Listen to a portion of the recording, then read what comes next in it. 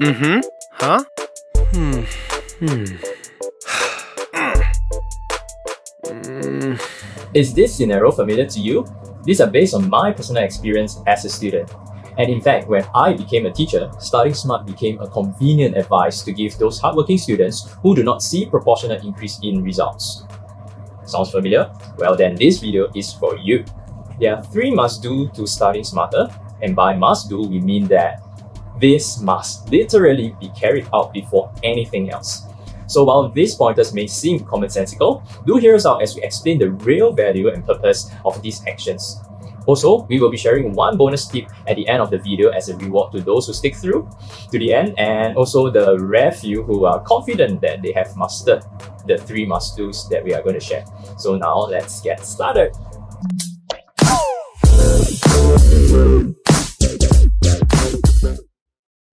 Before we can get into the details, I find one of the important areas that is missing is that there is a poor understanding of what studying smart actually means. We need to understand that working hard and smart are not mutually exclusive, meaning that it is definitely possible to work both hard and smart. Hence, our definition for working smart is as such. And working smart measures the deliberate attempt to yield progress with every unit of time and effort put into tasks. And you can quickly realize that this is not just limited to studying and it can be applicable to everything that you do, be it uh, learning of a new skill or handling a tough project at the next time when you are at work. So now that we are clear of the definition, let's jump into the first must-do of studying smart. Must-do number one is definitely to do your homework mindfully. Oh, come on, I did not come here to be nag at. I'm sure your parents and teachers are hounding you to do your homework.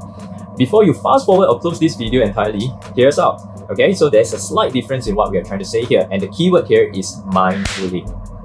So homework serves two major purposes. The one that is more known is that homework ensures that the learner recall important concepts and content taught in class.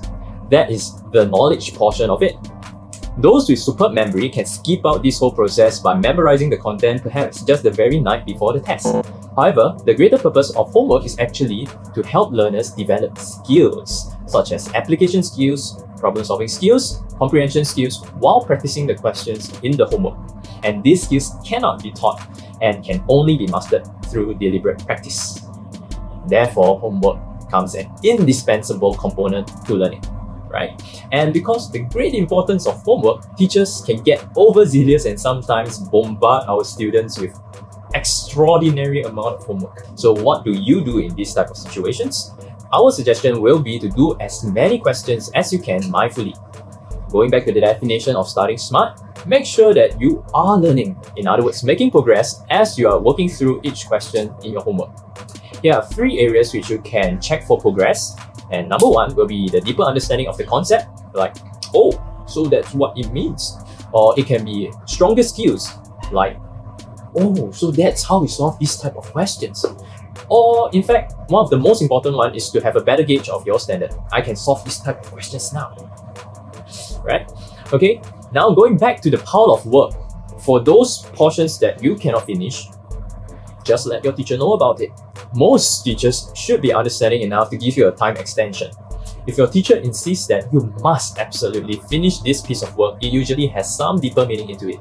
For example, that this set of questions coming out in the upcoming test, or you in particular needs that very practice itself. So if you are struggling to complete the task while your fellow classmates can manage it, it means that you need more guidance and support.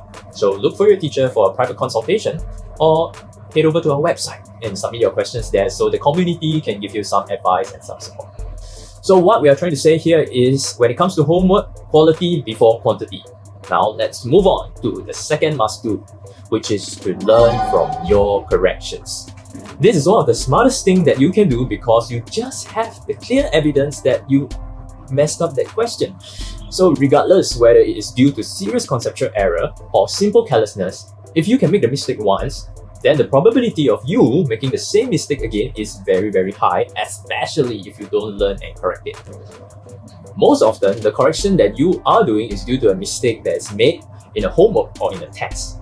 And as mentioned in the homework segment, each question that you are practicing or you see in the test are deliberately designed to be that way because they address misconceptions or question types that are found in higher stake exams. So imagine going into O levels or A levels and you see a similar question and you can only recall what you have written wrong, but you cannot recall the correct answer.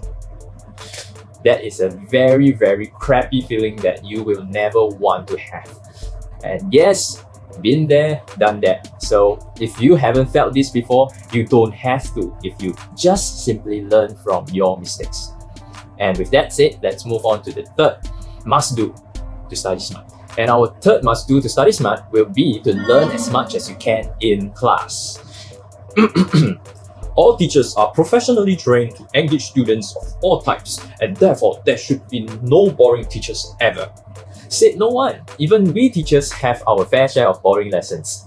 One more important thing for you to note is that nobody likes boring lessons, and definitely not the teacher him or herself, but sometimes it happens. Most oftenly it's because of the dynamics between the class and the teacher, but sometimes it can be due to the topic itself, because some topics are naturally more abstract and more intense. But regardless, lesson time is something that you cannot run away from. You have to be in class for that number of hours, that number of minutes. So if you can absorb 90% of the content and tips that were shared, you only have to catch up with the remaining 10% outside of class time. However, if you were to switch off entirely or give up, then you have to spend the extra time to catch back everything by yourself, without help. And in most cases, this means that a disproportionately more time and effort is needed. In fact, this often is so difficult that many students give up entirely and they blame it over to that they cannot do the subject, my teacher cannot teach, or I tried so hard and it did not work. So, study smart, pay attention in class, exploit the opportunity to ask questions, do practices, and stay mindful. Thank you to those who are still here with me. You're definitely up for success since you can put up with such a long video. So here's our bonus tip for you, which is to self-assess constantly. Since our central theme for today's discussion is really on progress, the best measure for progress comes when you have a good gauge of your current standards. By keeping your finger on the pulse, you can be more effective and efficient in addressing your area of weakness.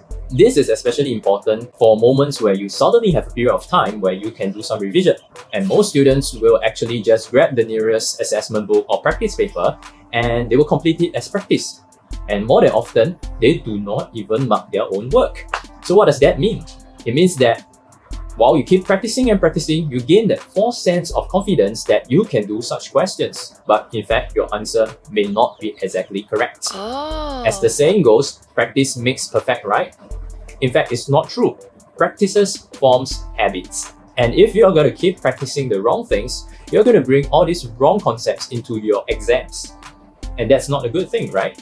So with that said, self-assess constantly whether you are making progress and what are the areas that you need help with and channel your time and effort into that. And with that, you can ensure that you will maintain an optimum progress with every unit of effort and time put into revision. With that said, we come to the end of our video. Let's round up by emphasizing that working smart is actually a mindset. It is this mindset that focuses on progress rather than just mere effort. And with that said, we would like to caution against one type of practice that certain type of students will do, which is to not do anything until they have decided that, okay, this is the best action for me to take. In other words, what we're trying to say is that do not waste time waiting or deciding on the best approach to spend your effort on, since time is ticking and if you are not progressing, you are not starting smart.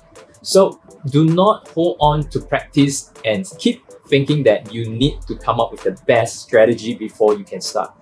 Start doing something and figure it out along the way. That would be the best advice that we can give you. So drop in the comments below on how this video has helped you or have gotten you into trouble with your teachers because you did not complete their homework. Share with your families and friends. If you are a teacher, share it with your class so that they will do your homework, do your corrections, and pay attention in class. And do not give them too much homework, yeah? Like and subscribe if you haven't already, and we will see you in the next video.